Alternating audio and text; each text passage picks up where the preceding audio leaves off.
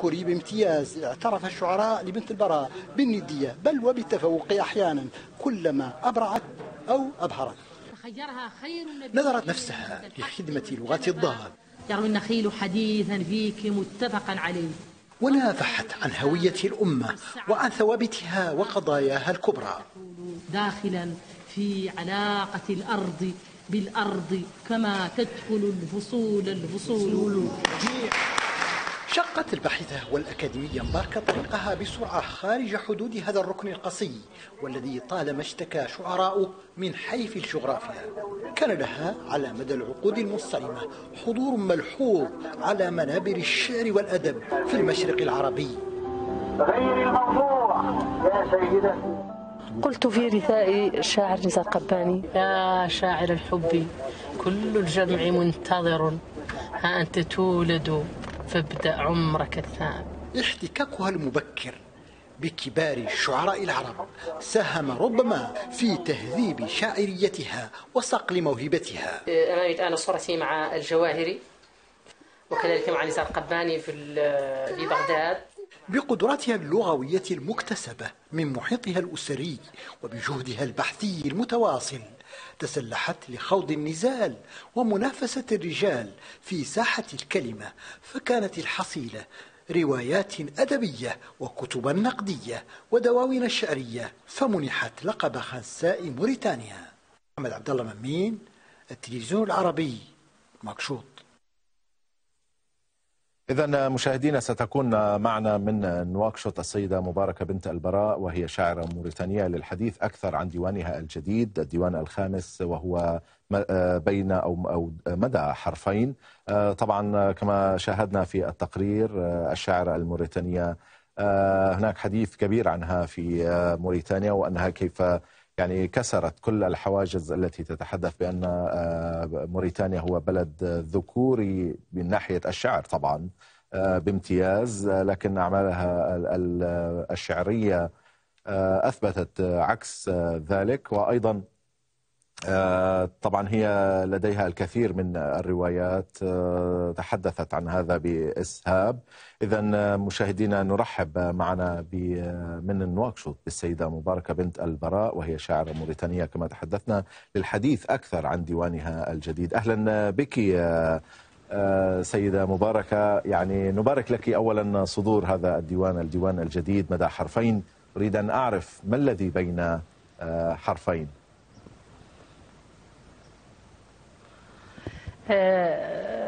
مرحبا بكم. أهلا. وشكرا على هذه الاستضافة الكريمة. طبعا هذا الديوان هو يعتبر خامس ديوان يصدر لي صدر عن دائرة الثقافة بالشارقة هذه السنة. ومدى حرفين هو أعتقد أنه يتضمن ما بين الحاء والباء. ما بين حرفي الحاء والباء. مما مما أردت أن أتحدث عنه ومما أريد أن أتحدث عنه. يعني الحديث كله في هذا الديوان يتحدث عن الحاء والباء الحاء والباء بينهم كثير يعني ما, ما الذي تريدين أن توصليه من رسائل نعم. بين الحاء والباء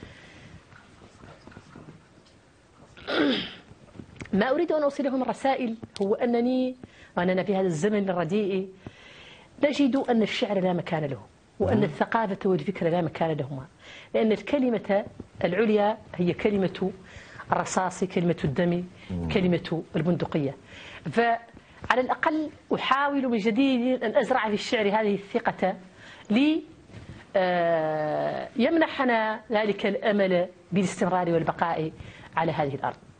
سيدة مباركة يمكن هنا جاء تسمية ديواني مدى حرفين. نعم سبقتني إلى مو... إلى إلى الإجابة على سؤال. كنت أريد أن أسألك في البداية أريد أن أسأل عن الديوان ومن ثم أريد أن أسألك على موضوع بأنه يعني هل فعلا ما زال أو ما يزال آه للشعر مكانته وخاصة المكانة ال... ال... ال... يعني السابقة؟ وهل فعلا قادر الشعر بأن يؤثر على الأشخاص أو حتى على المجتمع؟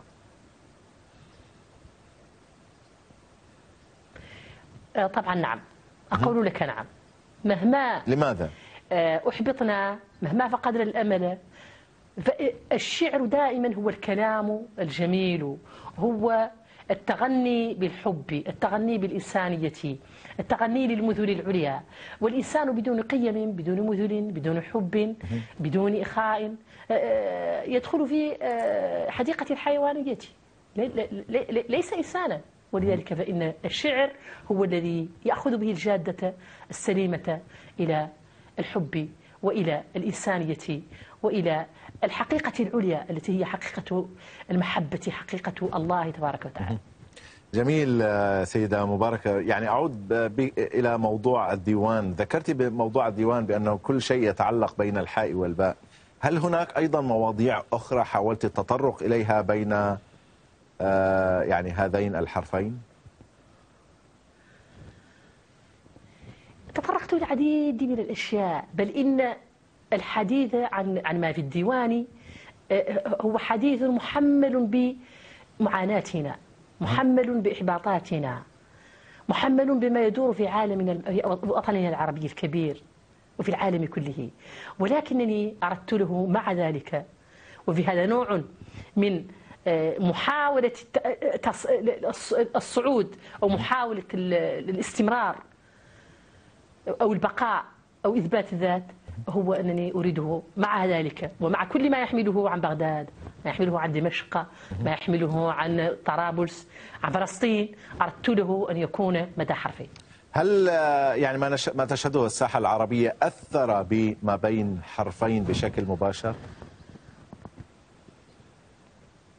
كثيرا كثيرا فأغلب القصائد هي عن معاناتنا هي عن أوطاننا هي عن الإنسان العربي المه- المهزوم عن الإنسان العربي المهزوز عن الإنسان العربي المشرد. القصائد أغلبها في هذا ال- المجال. ومع هذا أريد للحب أن يبقى.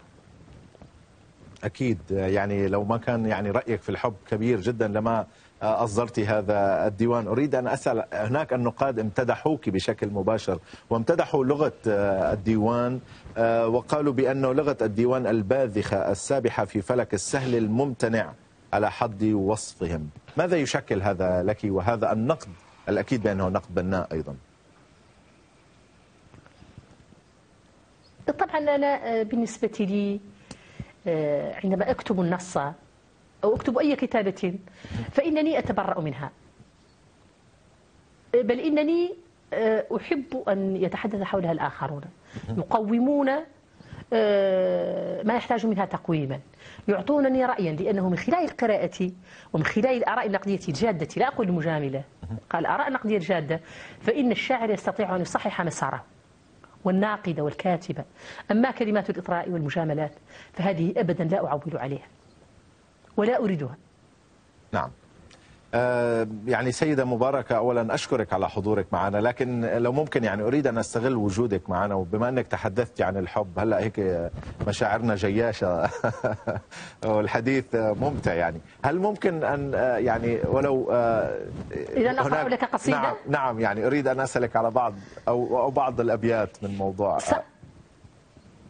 بس شوية شوية علينا سأقرأ لك مقطوعة قصيرة. نعم شوية شوية علينا ست مباركة. أوكي.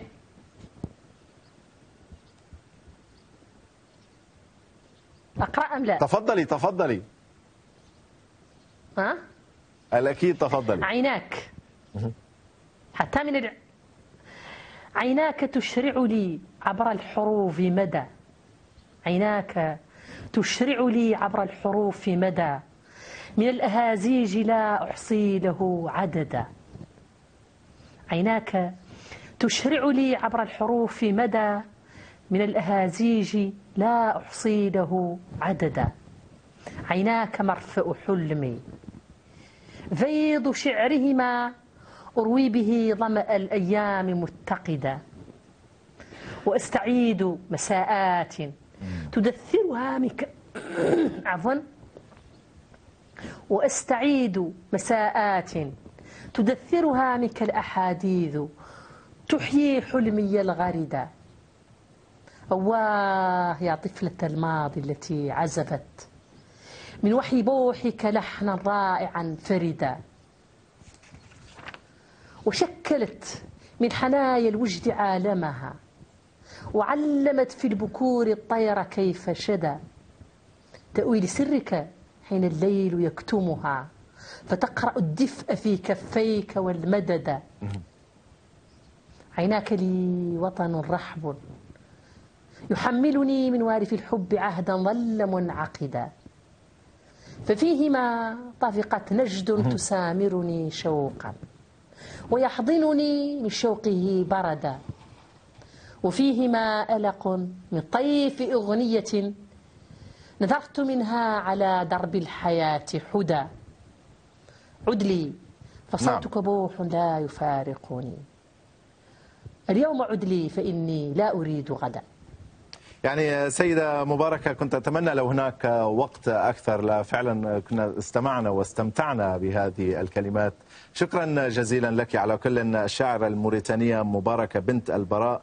صاحب الديوان مدى حرفين وهو الخامس ويتحدث عن ما بين الحاء والباء. شكرا جزيلا لك على هذه الاستضافة.